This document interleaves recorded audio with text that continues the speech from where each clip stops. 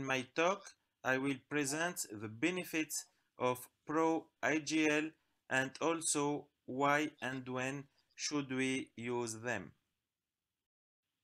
Intracorneal ring segments are one of the pillars of keratoconus management, and today rings procedure are predictable, efficient, and safe.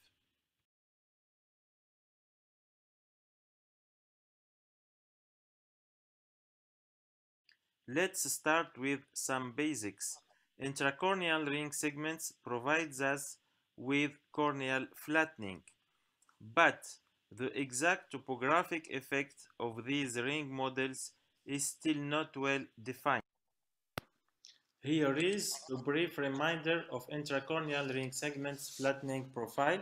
As you can see, with long rings like uh, 210, we have a large surface of flattening with spherical effect and with shorter one we have a flattening in one axis and some steepening in the opposite axis with cylindrical effect.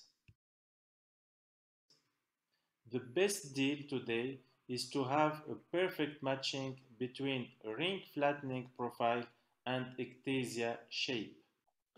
As we previously said, refraction is not vision, but shape is vision. So today, intracorneal ring segments nomogram should be mainly based on keratoconus shape and accessory refractive parameters. This is a morphological classification of keratoconus. There are five types of shape, nipple, bow tie, croissant, duck, and snowman. Starting with this ectasia shape, we can distinguish good and bad morphological prognosis. The good prognosis morphology are the symmetric shape, which are nipple, bow tie, and croissant. And the bad prognosis shape are asymmetric shape, which are duck and snowman. In nipple morphology, we have a high asphericity and with long arc ring 320 degrees, we have a very good result. And also with bow tie morphology, we have a regular astigmatism and when we put two symmetrical rings, we have also a good result. Croissant shape is also considered as a good morphology prognosis because in this case of paracentral ectasia, we have coincidence between topographic and coma axis. So if we put one ring on the steepest axis, we correct both astigmatism and coma aberrations. Duck and snowman shapes are generally associated with poor prognosis because in these two cases we have no coincidence between the coma and topographic axis. I'll try to better explain with this example. Here is a case of duck morphology. If we put the ring in the steepest axis, we will correct astigmatism but not coma. And if we put the ring on the coma axis, we will treat coma and we will overcorrect astigmatism. That's why the best deal in these cases is to consider asymmetric rings because they correct both astigmatism and coma aberrations. So, how can we do better? Here is a short video to better illustrate what I just said. This is a duck morphology so if we put the ring on the steepest axis, we will correct astigmatism but not coma aberrations. Another example of snowman with coma aberration and no coincidence between topographic and coma axis. So if we put the ring on the steepest axis, we will correct astigmatism but not coma.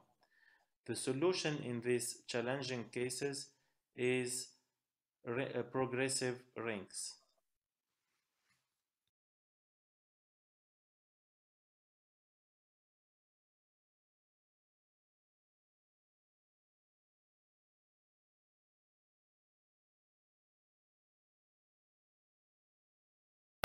This is a new progressive segments of AJL and as we can see we have a double progression in width and in uh, thickness and with this double progression we have better effects and outcomes. So the solutions today to improve results is first to consider the morphological aspect of keratoconus and second to use progressive segments in asymmetrical keratoconus. I show you here the results of a paper published in December 2020. This study included 31 eyes treated with AJL Pro segments. As you can see, we have a gain of one line or more in about half of cases at three months.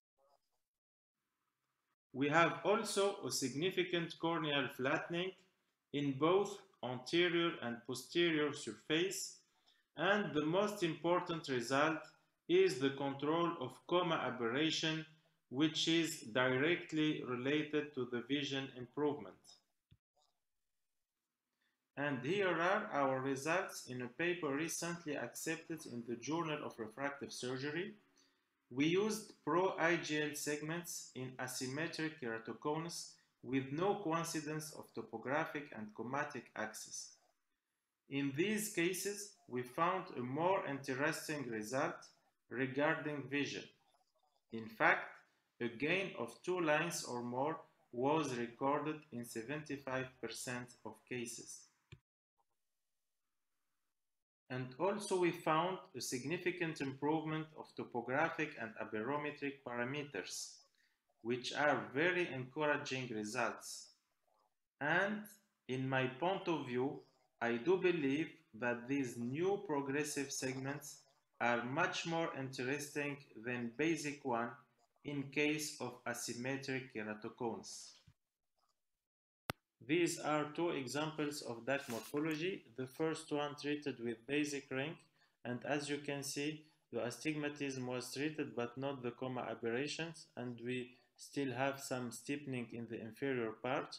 The second one treated with progressive rings and as you can see we have a better uh, morphology of uh, post-op topography and uh, you can see that uh, both the astigmatism and coma was treated. This is a topographic differential map of progressive uh, ring and as you can see we have a flattening progression from the top to the bottom of uh, about 3 diopters. In this example, we will show you the long-term result and the stability of progressive segments AJL uh, Pro. We have here an example of keratoconus with duck morphology treated with AJL Pro 5 mm. We have here the post-op topography after 6 months uh, follow-up and also the post-op topography after 3 years uh, follow-up and we can observe that after uh, 3 years uh, the topography and the visual acuity still very stable. And finally, I will show you our nomogram. The first step is to exclude high keratometry, corneal scarring, thin cornea, and even good visual acuity. The second step is to choose ring diameter, depending on asphericity and then we choose ring model, basic, long arc, progressive, depending on keratoconus morphology. In symmetric morphology, which are nipple, bow tie, croissant, we will use regular rings. In nipple shape, we will use one 320 degrees ring and in bow tie we will use two similar rings and in croissant we will use only one ring. In asymmetric morphology we will use only one progressive segment in duck shape and two progressive segments in snowman shape.